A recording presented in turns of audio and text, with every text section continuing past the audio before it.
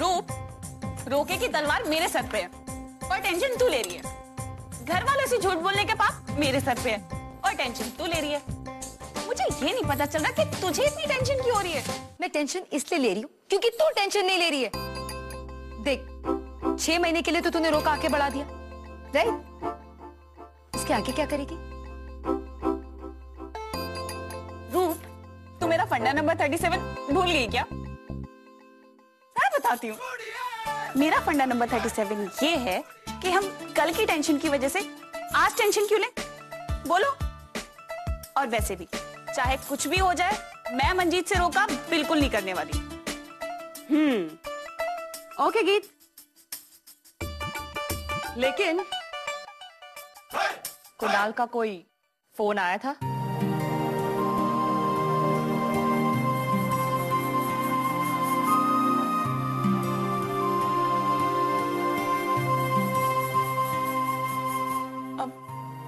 नहीं वो वो बेचारा तो अपनी मम्मी की प्रॉब्लम में फंसा हुआ है ना।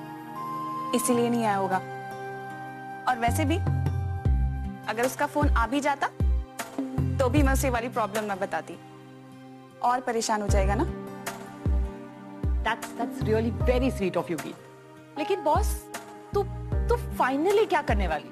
आई मीन मुंबई जाने के बाद भी तेरे को यहाँ भटिंडा वापस आना पड़ेगा ना? तेरा एंगेजमेंट होने वाला है तो।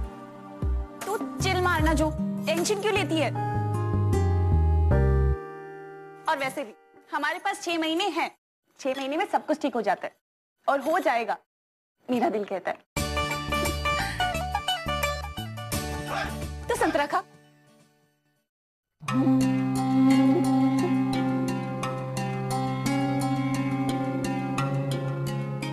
छह महीने बाद रोका। किस लिए अरे, लड़की यहाँ है, लड़का यहाँ है। रोके की सारी तैयारियाँ हो गई हैं। फिर छह महीने के लिए रोका क्यों रोके?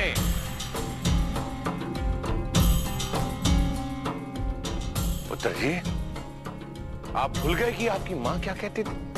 कल आने वाली खुशी अगर आज आ जाए तो वो खुशी दुगनी हो जाती है जी। दार जी ਤੁਸੀਂ ठीक कह रहे हो। लेकिन गीत चाह रही थी कि कोर्स खत्म होने के बाद अरे तो कौन बेवकूफ़ कह रहा है कि रोके के लिए कोर्स रोके? परसों की ट्रेन है ना? कल रोका कर देते हैं। परसों की ट्रेन से की मुंबई चली जाएगी। Very simple. दार जी गीत ही नहीं। मंजीत भी कह रहा था कि अगर रोके को छह महीने बाद इस घर में शादी ब्याह के फैसले बच्चे लेने लगे हैं क्या?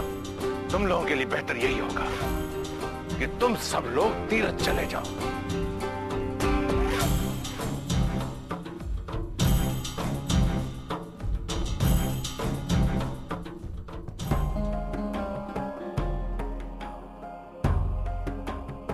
तय रहा। कल शाम चार बजे। और इस घर में मेरी निगरानी में गीत और मंजीत का रोका होगा।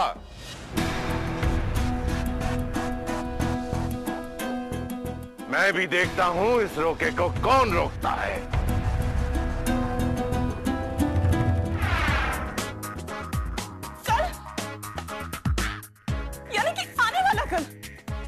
यानी कि आज के बाद वाला कल।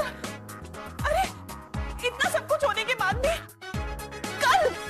ही दाजी तेरे बाप के बाप है। और उनके आगे तो हम चाह के भी कुछ नहीं कर सकते। वो तो कल गीत तो तू तो कल उस मंजीत को अंगूठी पहनाएगा?